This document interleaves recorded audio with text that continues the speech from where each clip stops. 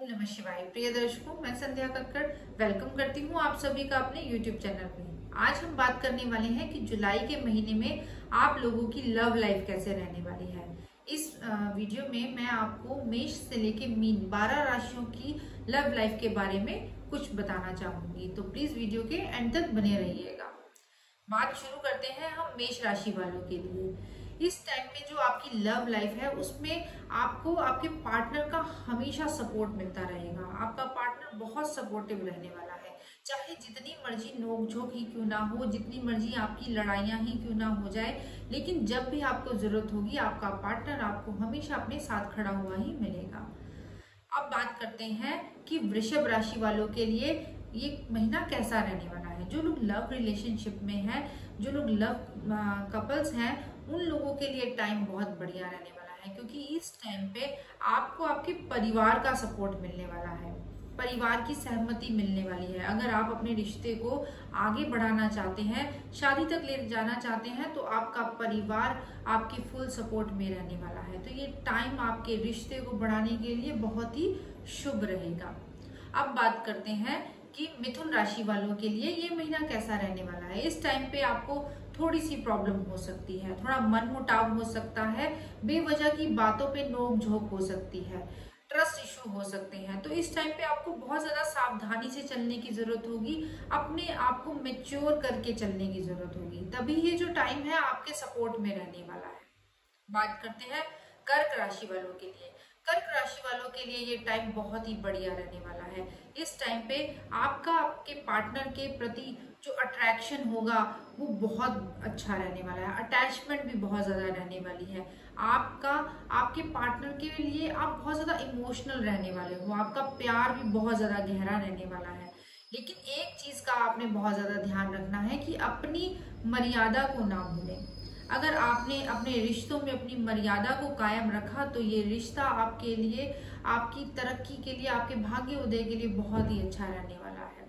बात करते हैं कि सिंह राशि वालों के लिए ये जुलाई का महीना कैसा रहने वाला है।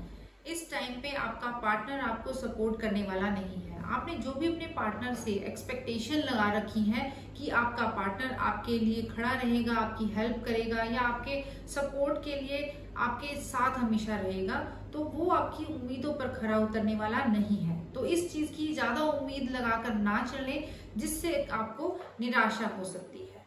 अब बात करते हैं कि कन्या राशि वालों के लिए जुलाई का महीना कैसा रहने वाला है।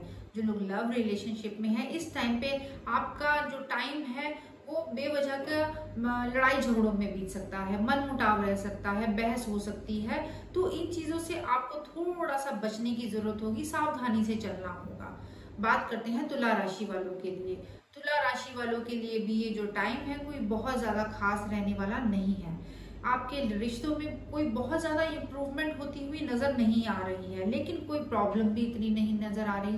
तो ये जो टाइम है स्मूथली निकलेगा, बहुत ज़्यादा इसमें एक्साइटमेंट नहीं रहने वाली, बहुत ज़्यादा कुछ इंजॉय वाली चीज़ें नहीं रहने वाली है। अब बात करते हैं वृश्चिक राशि वालों के लिए कि जुलाई का महीना कैसा रहने वाला है? ये टाइम आपके लिए फुल सपोर्ट में रहने वाला है। अट्रैक्शन भी बनी रहेगी और अटैचमेंट भी फुल रहने वाली है। एक दूसरे के लिए आपका जो प्यार है, वो और भी ज़्यादा गहरा रहने वाला है।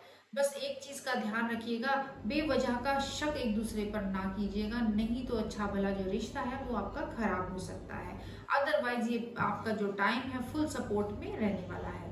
बात करते हैं धनु राशि वालों के लिए, ये जो टाइम है, वो कैसा रहने वाला है?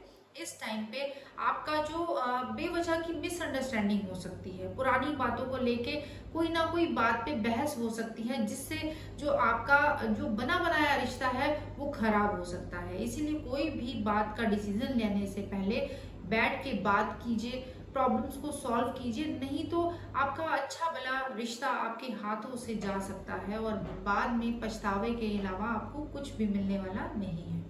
मकर राशि वालों के लिए जुलाई का महीना कैसा रहने वाला है? जो लव कपल्स हैं, उनका एक दूसरे के प्रति जो है अटैचमेंट है, वो बहुत ज़्यादा बढ़ने वाली है। अट्रैक्शन भी एक दूसरे के प्रति रहने वाला है। जो लोग सिंगल हैं, उनकी लाइफ में कोई ना कोई आ सकता है।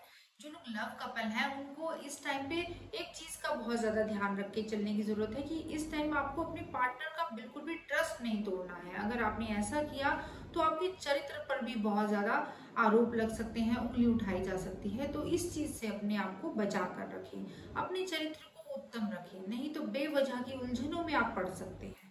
बात करते हैं कि कुंभ राशि वालों के लिए तो कुंभ राशि वालों के लिए टाइम फुल सपोर्ट में रहने वाला है। गुरुदेव की कृपा से आपका जो रिश्ता है, वो और भी ज़्यादा गहरा होने वाला है, आपका लगाव और भी ज़्यादा बढ़ेगा, इससे आपका जो रिश्ता है, आगे बढ़ सकता है, शादी तक बात जा सकती है और परिवार का भी सपोर्ट मिल सकता है। ये महीना आपके सपोर्ट में रहने वाला है। मीन राशि वालों के लिए जुलाई का महीना कैसा रहने वाला है? आपके रिश्तों में ईगो आ सकती है। बेवजह की ईगो की वजह से आपका जो बना बनाया रिश्ता बेवजह का टूट सकता है। तो इस बात का बहुत ज़्यादा ध्यान रखें। अपने क्रोध पर कंट्रोल रखें, अपनी वाणी पर कंट्रोल रखें। नहीं तो आपका रिश्ता आगे चलने वाला नहीं है।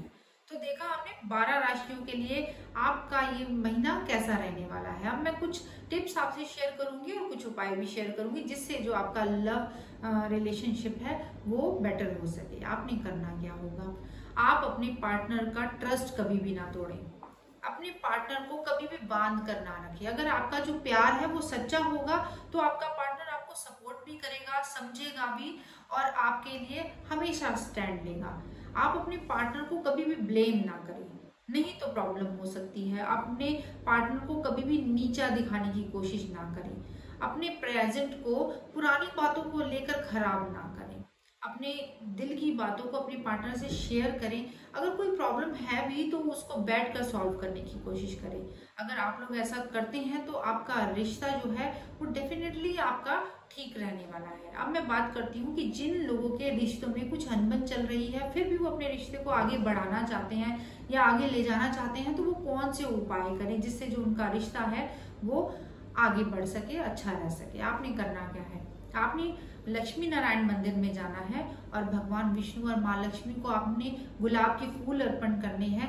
इत्र अर्पण करना है और दूध से बनी हुई कोई भी मिठाई अर्पण करनी है। ऐसा अगर आप लगातार 11 शुक्रवार करते हैं तो इससे आपको जो रिज़ल्ट है, बहुत ही बढ़िया मिलने वाला है।